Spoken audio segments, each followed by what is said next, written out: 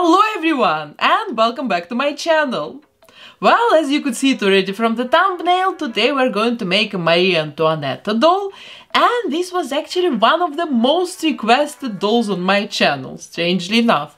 Really, almost every week, under every single video, you can see comments from people asking me to make a Marie Antoinette doll. Some people even ask me to make a Marie Antoinette doll with her hat cut off, like, you know, carrying her hat in her hands. But I don't know, we're not going to go that far, probably, in this direction. But I actually love the idea of making a real historical doll, like in this huge dress with many layers, with many skirts, underskirts, underskirts, you know, with all this heavy hard construction there in the, in the dresses with these insane wigs with some I don't know insane also decoration. Sometimes they install the whole boats in these wigs in their hairstyles. So I think it would be very interesting to try to recreate something like this here on my channel. And of course I've asked my mom to make an outfit for this doll because you know she's just better than me, let's be honest. She's just the best uh, outfit maker here that I know in the online world, so that's why my mom is going to work on the big dress for my Marie Antoinette doll, and I'm going to work on her makeup, and her hair, and all kinds of decoration, stuff like this. And yeah, as a model for this transformation, I've decided to choose this Spectra doll. I don't know, I think she looks a little bit royal in some way because her face is so serious. It's not like Lagoona Blue or Frankie dolls, you know, they're more cute and sweet. And this one, yes, she can become a real queen. So let's undress this doll like always. Let's cut her hair very, very short and then we're going to start working. And you meanwhile, please don't forget to subscribe to my channel, hit the bell button to get notified about my new videos every week Friday. And of course, yeah, hit the like button if you enjoy my art here on YouTube. Well, yes, and I'm going to start working.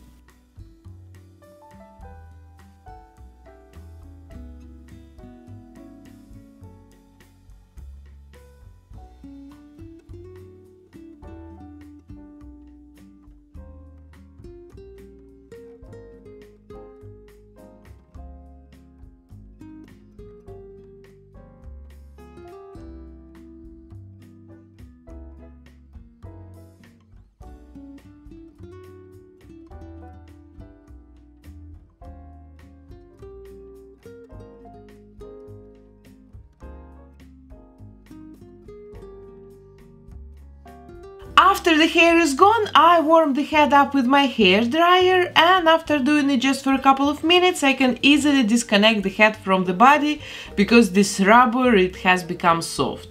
And then I can also easily remove the rest of the short hair from the inside of the head because this hot air has melted the glue as well.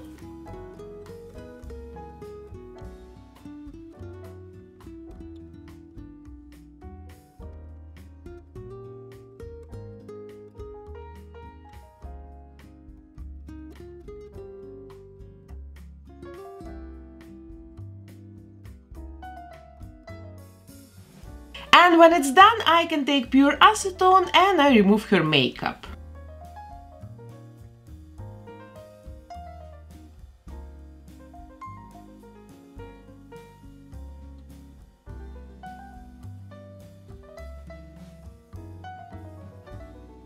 The next step is spraying the face with a couple of layers of Mr. Super Clear sealant, and then we can start working on her face.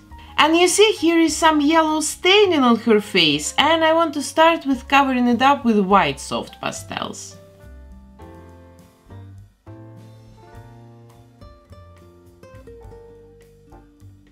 The next step is sketching her eyes and eyebrows and after this I will start applying light nude soft pastels to create a realistic skin tone.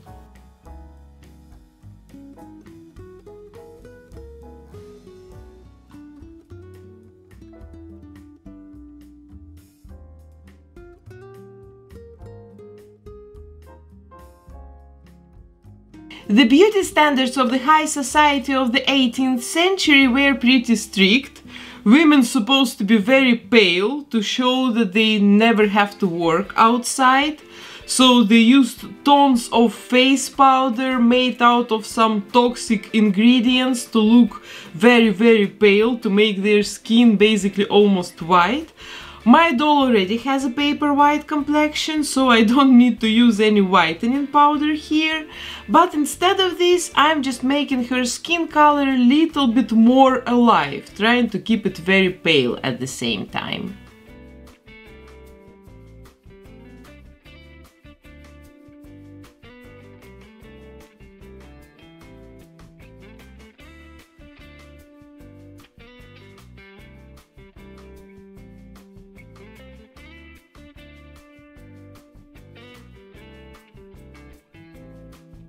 Healthy blush and scarlet lips were also very important for beauty gurus from the past, so let's use my red soft pastels to do it.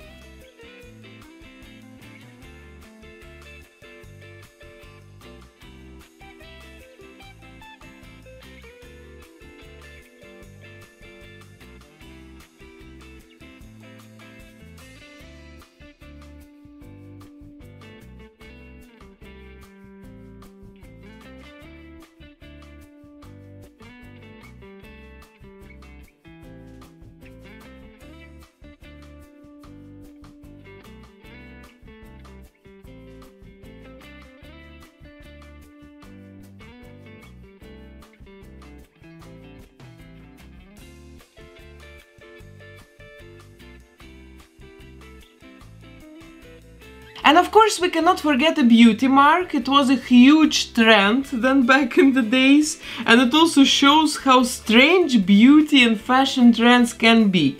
Because some women, they put so many beauty marks on their faces that it looked like they really had some actual flies sitting on them. But I will not exaggerate, one beauty mark would be perfectly enough. And then add reflections to her eyes using white acrylic paint. Okay, the face has been mostly finished and now I want to work on her body. And first of all I'm going to sand it completely with nail buffers to remove the glossy top from the surface, because like this all the paint and pastels they will stay better on this plastic.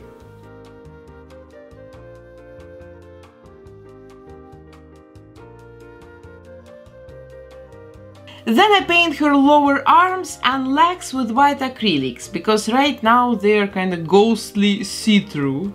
After this I spray the complete body with the sealant and then I cover it with the same light nude pastels like we've just used on her face.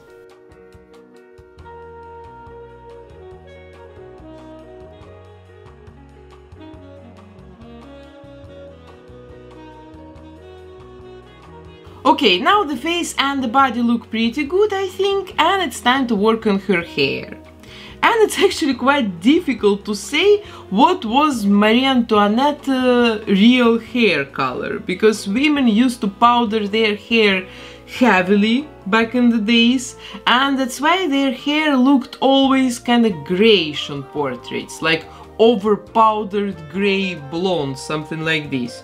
So I think this yarn has quite a good grayish little bit blonde shade so let's make hair out of it and first of all I'm cutting this yarn into shorter pieces.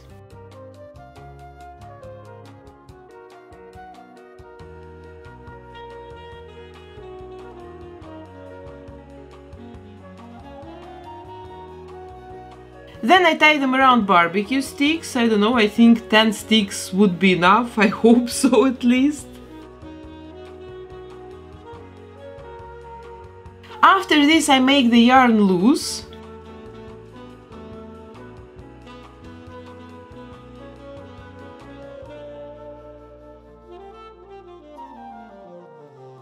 And I brush it with this brush for cats.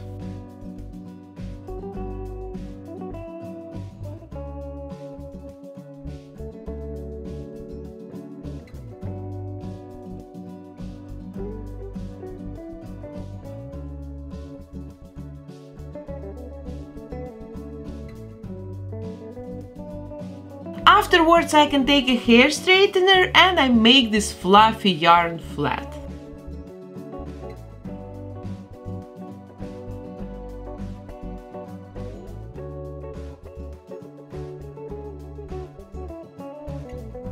Then I can cut it off the sticks and I glue this cut edge with tacky glue.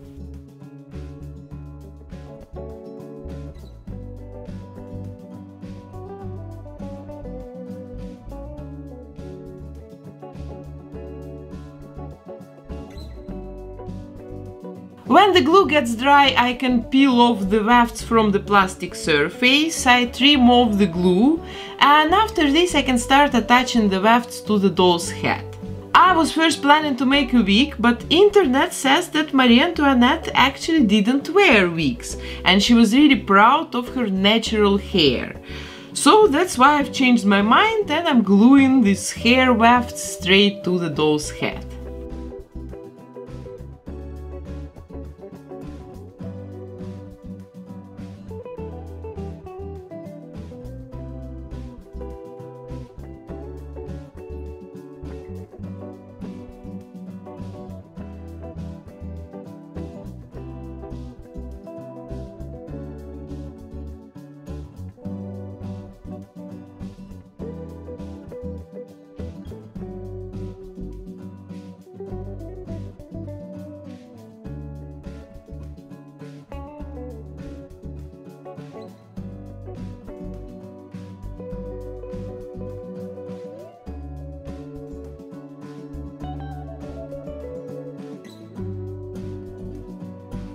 So this is what I've made, now we need to style this bird nest a little bit and today guys we're going for the world famous boat hairdo.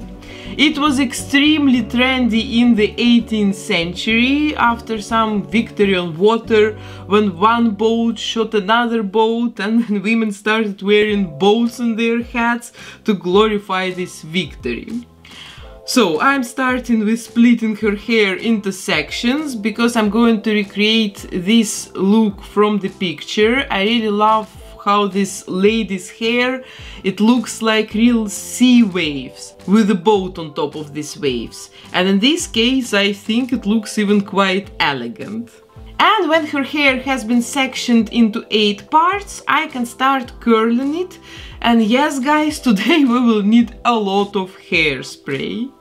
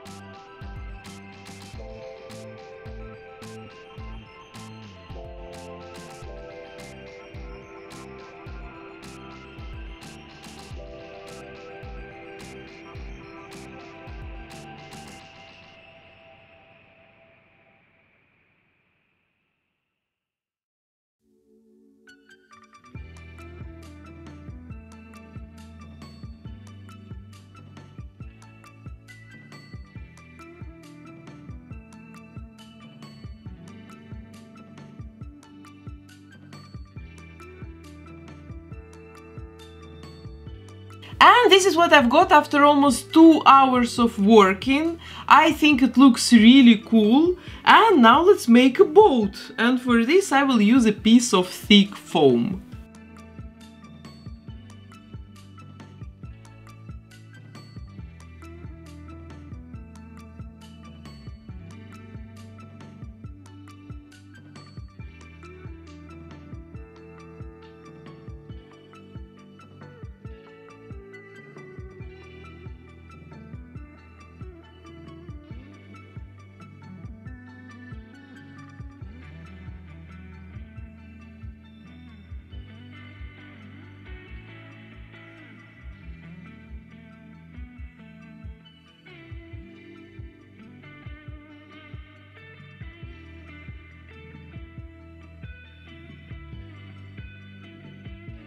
I'm happy about the shape of the boat, I cover it with brown acrylics and then I also add some golden dots that would imitate windows in the boat.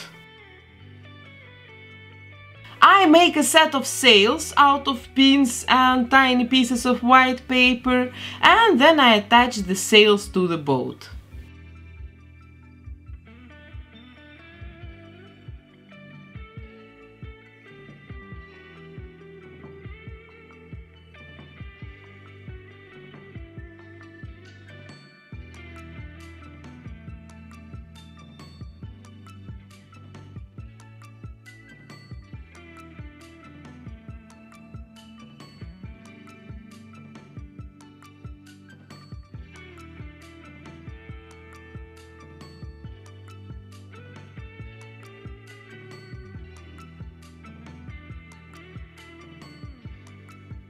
And after this I can attach it to the styled hair of our doll.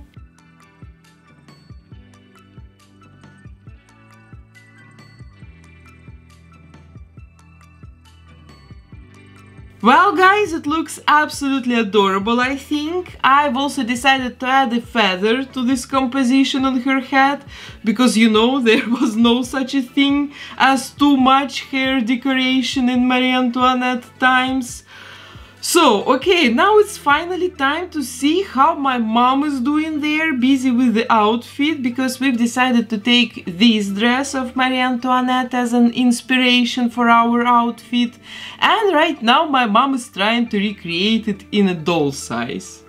And she's starting with making an underskirt. It will be kind of hard construction that will keep the shape of all the skirts that will later come on top of it.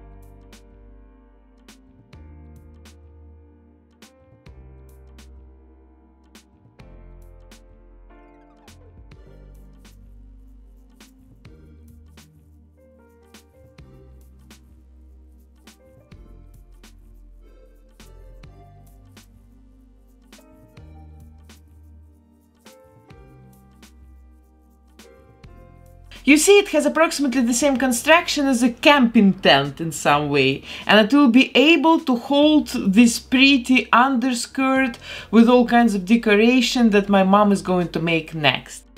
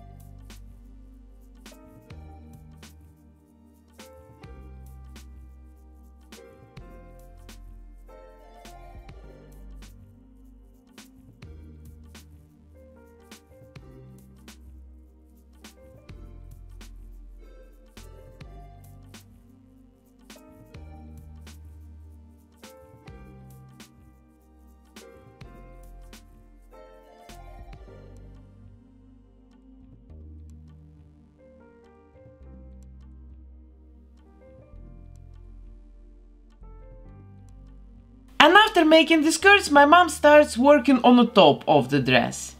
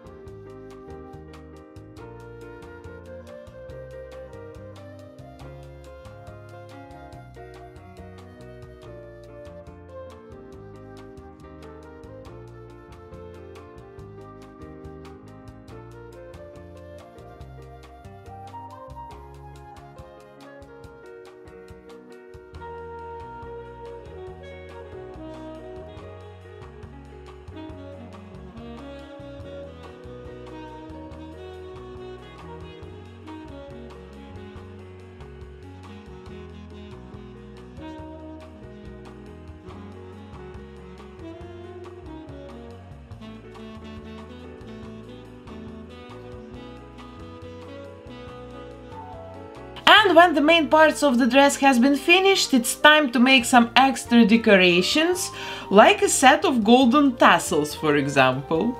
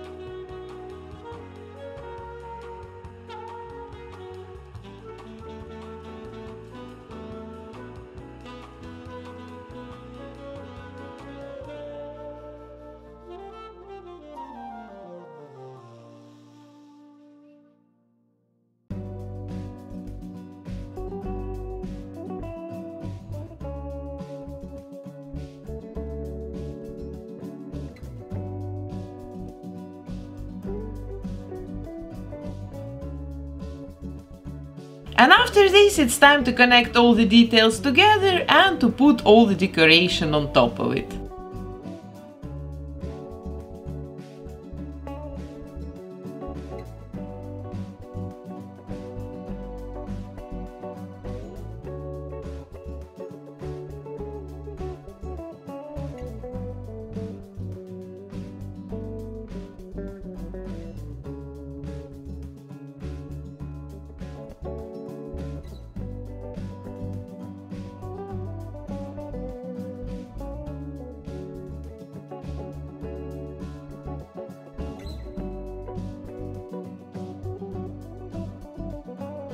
So and here is the finished masterpiece. Oh my god guys, just check out all these details.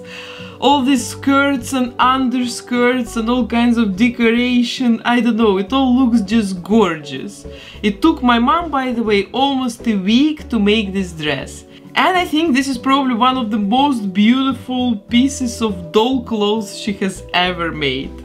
So now this mega outfit still requires some shoes and I'm going to make them out of Worbla thermoplastic and I'm starting with creating a pair of basic shoes.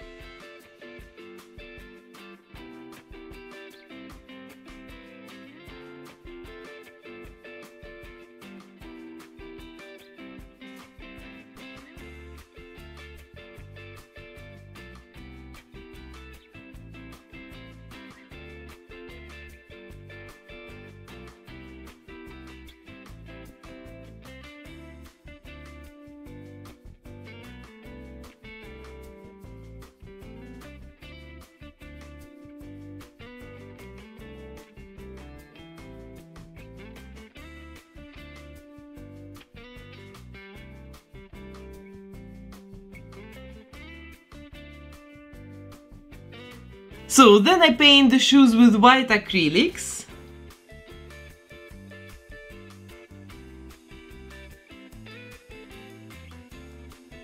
Afterwards I cover them with lace and then I will decorate the shoes with all kinds of rhinestones.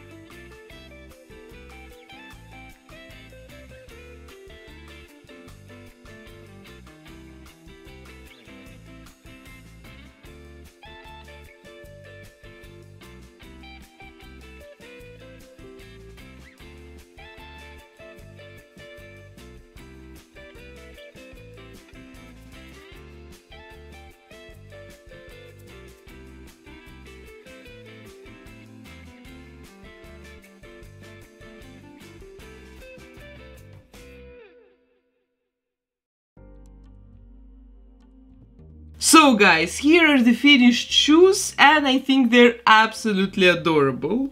You know, I really love making doll shoes out of Worbla thermoplastic. It feels very satisfying to me in some way.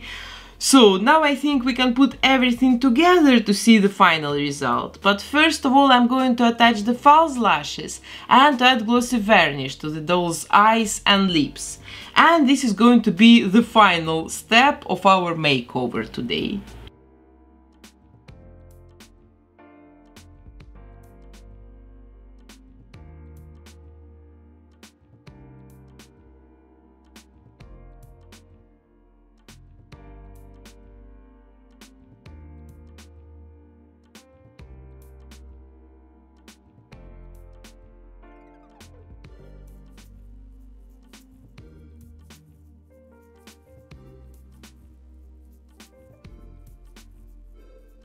Guys, and here is my finished doll. You know, it was my very first historical makeover. I've never made anything like this here on my channel. And you know, I think I should have done it much earlier because I really had a lot of fun making her hair and working on her shoes, making this boat and my mom also let herself go while working on the dress. So I think I should make more historical dolls because it was really interesting for me this time. So what do you think guys? Who else should I make? I don't know, which historical characters would you like to see? If you have any good ideas, please write them down in the comments. And also, by the way, don't forget to participate in our collaboration. I've got already around 300 emails with doll designs from you guys. It's going to be crazy, really. I don't know, it's getting really exciting at the moment. And if you don't know what I'm talking about, please check my last video from the last week Friday. I explained there how I'm planning to collaborate with my subscribers. So this doll will be for sale later when I will be able to ship dolls internationally because right now I don't sell dolls but when post services will start working like they used to before the crisis I will put more than 5 dolls for sale. I will keep you updated because right now honestly I have no idea when it's gonna happen.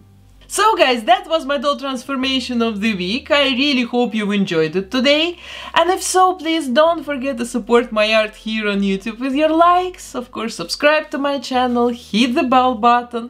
And I will see you already very soon next week Friday in my new doll repaint video. Love you guys. Bye.